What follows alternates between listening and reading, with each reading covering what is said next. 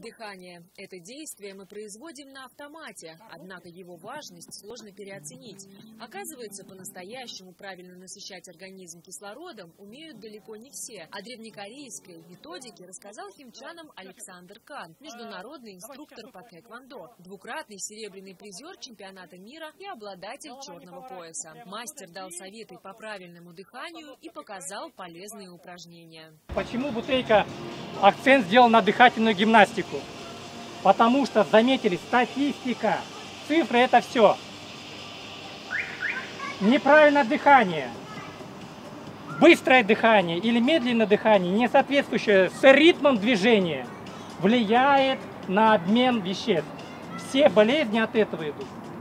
После теоретической части приступили к практике. Приседания, махи руками, наклоны, минимальный набор упражнений, которые легко повторить во время зарядки дома или на работе. Надо двигаться. Двигаться, двигаться, двигаться.